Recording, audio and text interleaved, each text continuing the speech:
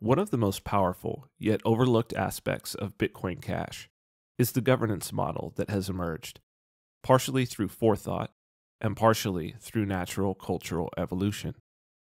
Governance is a word heard often in Bitcoin. It's a notable term because it can only refer to the governance of the humans of Bitcoin. Satoshi Nakamoto explicitly states this is the case in the closing sentence of the white paper when he says, any needed rules and incentives can be enforced with this consensus mechanism. The behavior of the machines on a Bitcoin network is governed by Nakamoto consensus and the various non consensus rules written into the software. But Bitcoin is not primarily a software project.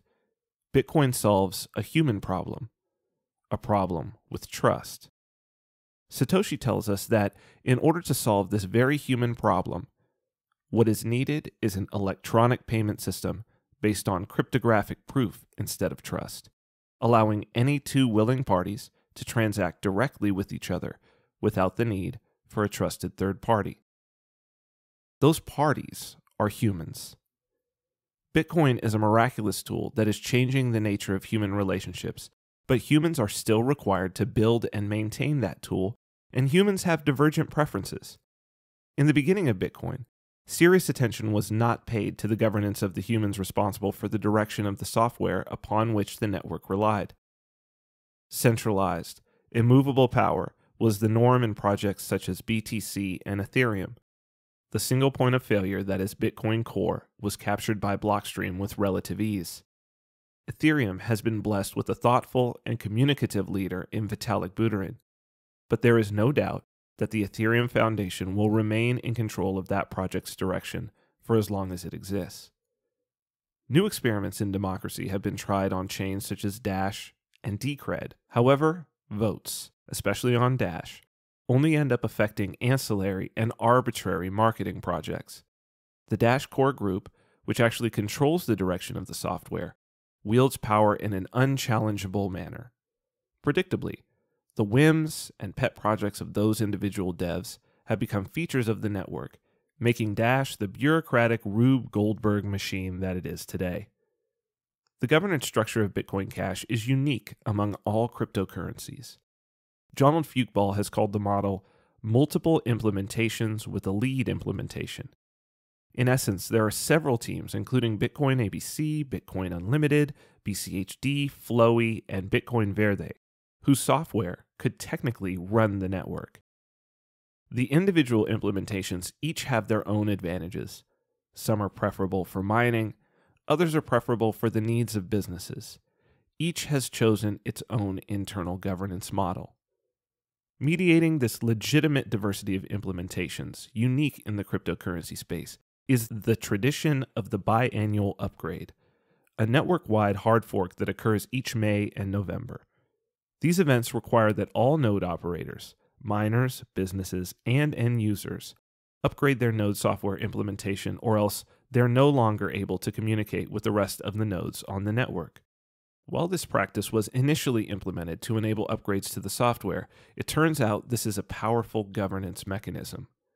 Twice a year, every node operator is faced with a need to re examine their infrastructure. It presents an opportunity to switch the implementation that operator is using.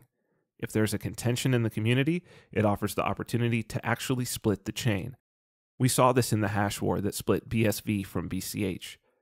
After that split, BSV adopted a centralized and immovable dictatorship that is significantly more ossified than even Bitcoin Core. BCH continued on the same path of multiple implementations and biannual upgrades. At the moment, Bitcoin ABC is the lead implementation. Every six months, ABC subjects itself to a network wide referendum. The leadership of the various implementations don't have to make changes to their software such that their users will follow the ABC chain. If the lead implementation becomes corrupt, this is a safety valve, a means for the network to choose new leadership. This choice falls almost exclusively to miners and exchanges at the moment. But as the dynamic of the players in the network changes, it is predictable that the power dynamic in that regard will shift as well. The unique emergent governance model of Bitcoin Cash is an innovation. It is a model that has never been seen before. It is the means for reaching voluntary community consensus on the nature of an economy while retaining the freedom for minority groups to exit and go their own way. For those, like me, who came into this space because Bitcoin represented a tool for reducing violence and increasing personal sovereignty in the world, the BCH governance model further reaffirms that our time has been well spent and the project of peer to peer cash for the world is carrying on apace. Bitcoin is a human endeavor. In any human endeavor, there are leaders. We can, however, work to find ways to increase the sovereignty of every individual. Part of that effort is recognizing innovations in how we govern ourselves and strengthening the traditions that will sustain a peaceful and prosperous community.